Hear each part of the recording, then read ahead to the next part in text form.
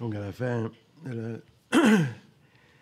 du balatin précédent, j'avais lancé l'idée que, au bas mot, l'anthropologie, l'ABC de l'approche anthropologique, c'est cette analyse en termes des lieux, des logiques et des langages qui tournent en rond. Euh, ce sont des points de vue analytiques. En fait, dans le vécu, on ne peut pas extraire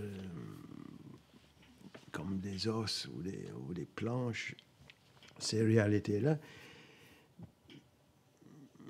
Mais, comme disait Shakespeare, what's in a, what's in a name? Il, il, faut bien nommer les, les, choses parce que les mots sont des choses et font naître et être de quoi ils parlent. L'ABC de, de la, linguistique aussi. Il n'y a pas des choses et puis chaque culture met son mot dessus. Les mots créent vraiment ce dont ils il parlent. Et donc, pour moi, le mot culture, bon, euh, difficile de l'évacuer totalement, mais moi je préfère substituer en place de culture l'idée de lieu, de milieu. Et aussi, de, parce que le désavantage du lieu, c'est qu'il est un peu clôturé, il est un peu synchronique, il est un peu stabilisé, stagnant, ça bouge pas beaucoup. On quitte des lieux. Donc, il serait encore plus, plus adéquat ou plus à la hauteur des, des évidences empiriques de parler de projet. Ça, j'aime bien cette idée parce que projet, avec un, majuscule, avec un P majuscule, c'est l'équivalent de société, c'est l'équivalent de culture, c'est l'équivalent de lieu, c'est l'équivalent de situation socio-historique. Mais c'est surtout quelque chose qui a une sorte d'identité intentionnelle. C'est un, projet qui a à son intérieur, disons, le Moyen Âge, c'est un projet, la modernité, c'est un projet, les Wakanongo euh, sont un projet, les, Belges, etc., etc., sont autant de projets, à chaque fois ayant, euh, allant de l'avant ou s'articulant, euh, s'exprimant, se matérialisant grâce à des projets particuliers. Y a un projet belge, et puis il y a un projet femme belge, un projet femme belge namuroise, etc., etc. On pourrait faire ça en forme de, de dessin. C'est mon trademark. les, triangles, les carrés et les cercles. J'ai mis culture et nature. Ce qui est intéressant, c'est que c'est au pluriel. J'ai souvent publié dans une revue à Louvain qui s'appelait Culture et développement. Culture au pluriel et développement. Comme si, si vous voulez, il y a une dimension, il y a des réalités culturelles qui doivent toutes se situer par rapport à un seul et unique objet ou projet qui serait le développement. Le développement, ce n'est pas une culture, c'est un en soi, c'est une finalité, comme le progrès, comme, comme la religion catholique. Ce, n'est pas une culture. Et, et, ce qui est assez, assez paradoxal et même farfelu, c'est que l'Occident s'imagine être la première culture qui, pour l'essentiel, n'est pas culturelle. Parce que l'Occident a mis le doigt dans la réalité naturelle. La culture occidentale est la première à s'être rapprochée réellement de manière véridique à la réalité des choses elles-mêmes. Le, le, trou d'ozone, le E égale mc au carré. Là, il va aboyer longtemps parce que ça va sonner. Et donc, pour revenir à ce, à ce effectivement, dans la, tête de la plupart des gens, il y, a, il y, a, une dimension culturelle. Il y a des cultures triangulaires, l'Afrique, il y a l'Europe, il y a l'Asie, ou plus particulièrement, il y a, les, les, Wallons, il y a les Flamands, il y a les, les germanophones en Belgique. Donc ce n'est pas... C'est des lieux, mais on ne sait pas quel... Il faut chaque fois préciser, circonscrire, délimiter le lieu dont il s'agit. Mais dans l'imaginaire de la plupart des gens, il y a un, hors-lieu. Il y a, mais pour moi, le hors-lieu est un non-lieu. Ça veut dire qu'il ne peut pas y avoir. Je ne vois pas, par exemple, euh, où serait euh, le lieu chien en tant que tel.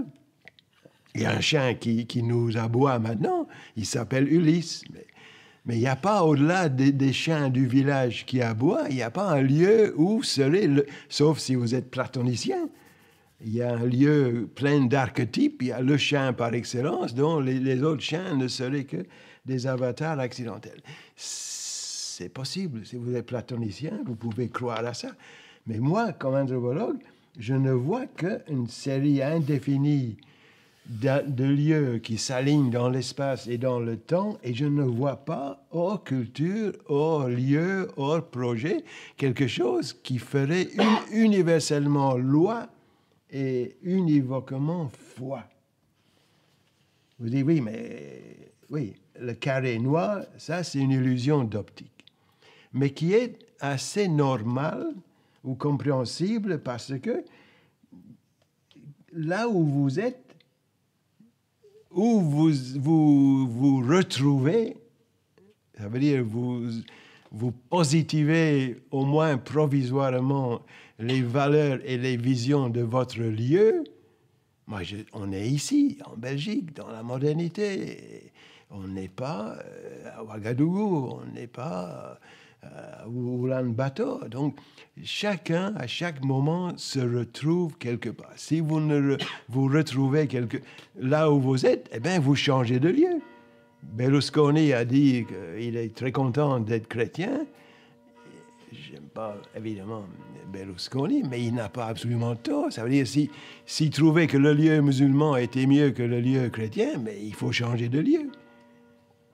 Donc il n'a pas tort de dire que pour le moment, j'y suis, j'y reste. Et donc tout un chacun, à moins d'être masochiste et suicidaire, il a le droit de prendre son lieu comme euh, relativement absolu. Le danger, c'est qu'on absolutise son lieu, le lieu où on, on se trouve, et on dit, mon lieu, c'est le lieu par excellence et le lieu par essence je suis chrétien, ma religion, c'est la religion, ou, ma culture, c'est la nature, et j'ai intérêt, j'ai le droit d'aller proposer et même imposer à, toutes les autres cultures euh, la mienne, parce que la mienne est la seule qui est promue à, durer éternellement, si vous voulez. Donc si vous êtes polygame, vous êtes à côté de la plaque, parce que la plaque, c'est la monogamie. Si vous êtes polythéiste, vous êtes à côté de la plaque parce que la plaque, c'est monothéiste. Et donc, vous pouvez être monogame et polythéiste et, monothéiste. C'est votre choix. Mais c'est relativement absolu.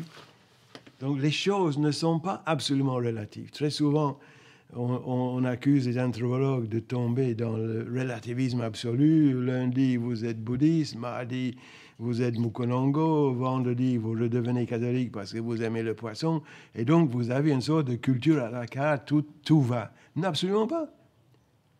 Rien ne va pour moi, sauf euh, là où je suis actuellement. Ma foi, c'est de l'anthropologie. Ce n'est plus ce que c'était. Ça peut être quelque chose demain. Si, si le destin me révèle ce soir autre chose, je suis prenant.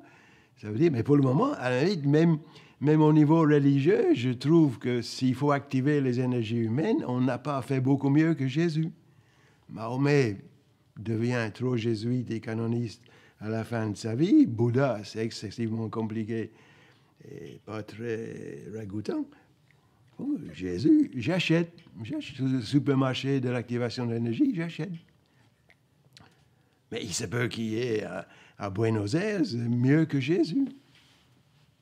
Donc, relativement absolu. Pour le moment, j'y suis, j'y reste, mais je n'ai pas le droit, et c'est ça qui est terrible. Vous dites, oui, mais on est, on est du religieux. Mais les scientifiques, ils raisonnent comme ça. Les médecins occidentaux raisonnent. Même les anthropologues raisonnent comme ça. Ils imaginent que l'anthropologie a mis ses doigts sur la réalité humaine. Et donc, l'anthropologue aussi doit faire très attention de ne pas prendre ces absolus pour de l'absolument absolu. Tout le monde, autrement, on tombe dans l'intolérance. Parce que si vous avez absolument raison, les autres ont absolument tort pour finir. Vous ne pouvez pas indéfiniment croire qu'il n'y a pas de trou d'ozone. Vous ne pouvez pas indéfiniment ignorer que deux et deux font quatre. Vous ne pouvez pas indéfiniment refuser que le pape ait un pape mobile et soit en même temps infaillible. Tout ça est inclus dans le prix. Mais c'est ce que vous achetez, c'est votre bazar. Vous avez le droit de, de, soigner ça euh, pour, pour export. Tu peux exporter, tu, tu peux dialoguer. Mais vous êtes toujours en train de prêcher pour votre chapelle. Il n'y a pas, de hors chapelle, il n'y a pas de hors culture, il n'y a pas. C'est pas du relativisme. Ça, ça m'énerve souvent quand les gens disent ouais, c'est du relativisme. Mais non, c'est du relativement absolu. Et ça te permet de prêcher pour ta chapelle.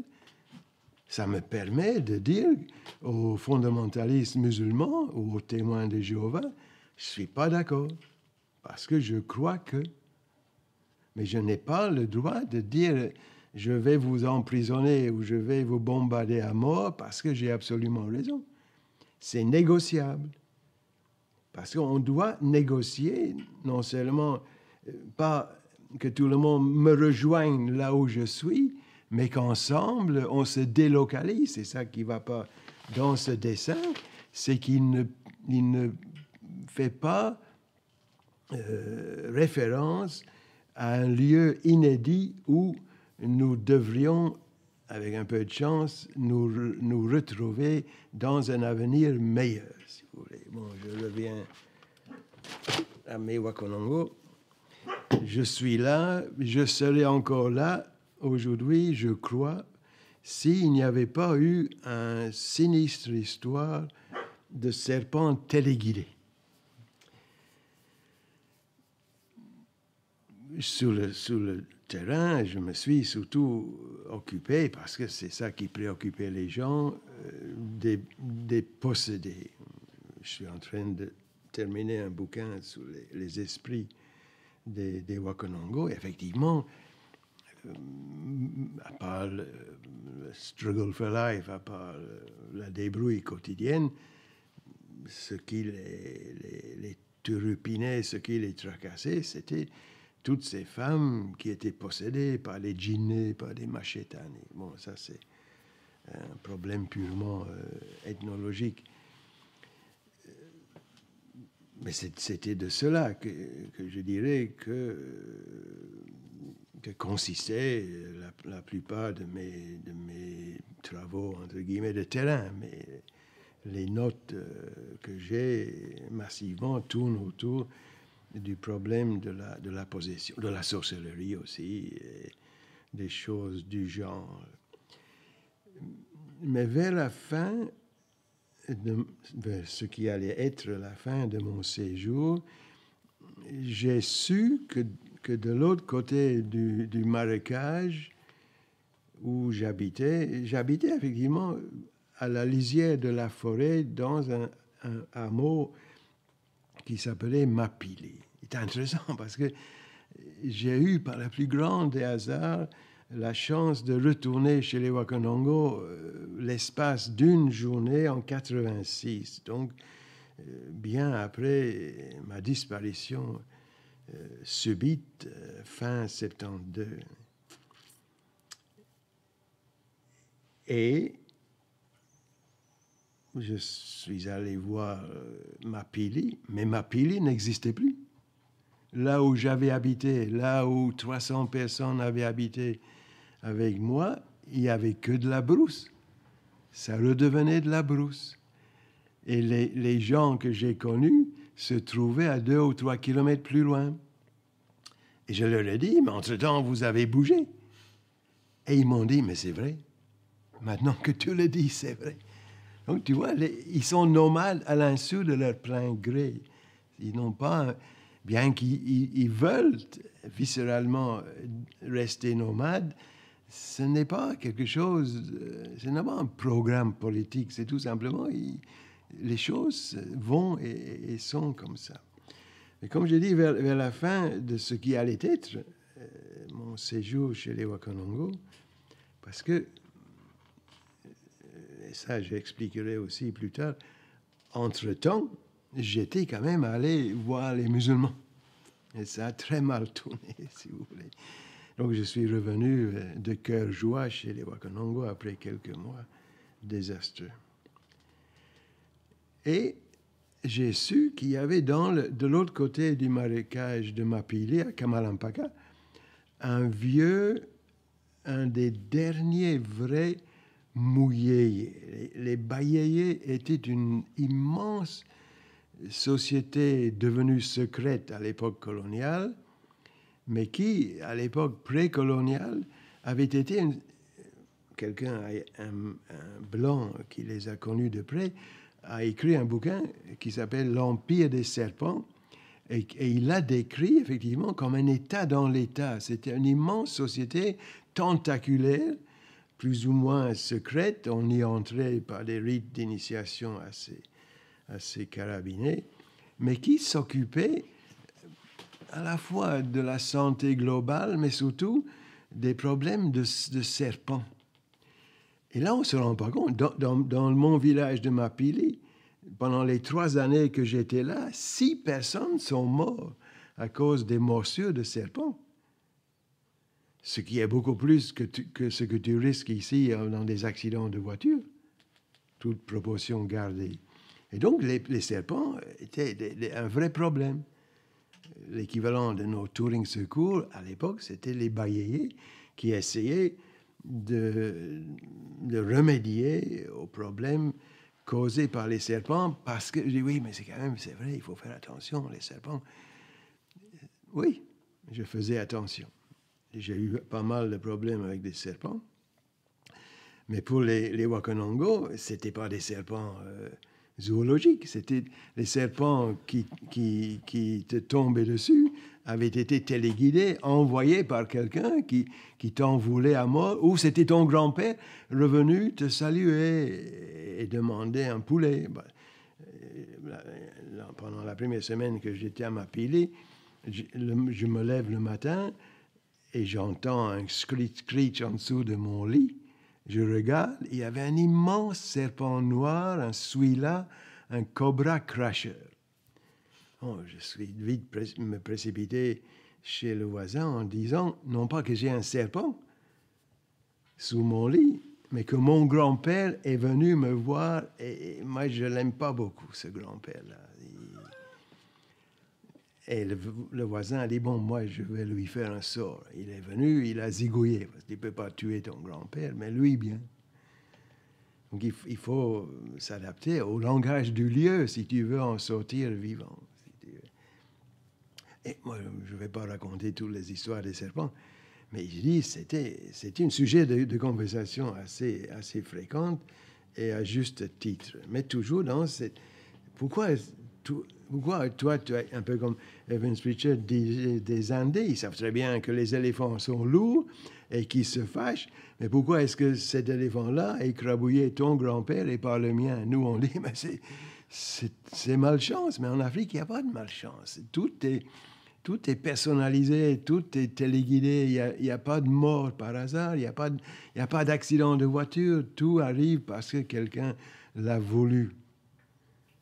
Et donc, ces problèmes de serpents, ce pas des problèmes tels que nous les imaginons euh, avec notre naturalisme euh, euh, positiviste et scientifique. C'est un problème de rapport humain. Mais je suis allé voir ce vieux dans l'espoir. Il est, comme je dis, ça devenait moribond. Les gens, les, les toutes ces sociétés avaient une danse spéciale, spécifique. Et les bailliers, les jeunes bailliers dansaient, ils avaient des, des bretelles en peau de, chèvre, ils avaient des grelots attachés à leurs pieds, ils avaient des rythmes et des tambours euh, propre. Et pour les, les, fêtes, les fêtes paroissiales, etc., ou les mariages, il se démenait en public, mais il n'était plus au courant des, des secrets du, du, métier tel que les vieux l'avaient été au siècle passé. Donc j'ai dit, bon, c'est la seule chance que j'ai d'enregistrer des choses relativement inédites euh, en ethnographie. Donc je suis allé le voir. Mais tu ne peux pas aller chez un, chez un, quelqu'un qui est au courant. Imagine ici, tu vas chez un franc-maçon et te dit explique-moi ce que vous foutez. Ça me paraît fascinant.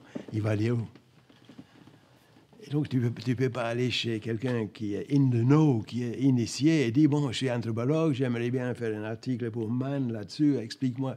Non, non, il faut, il faut faire semblant que vous êtes de mèche.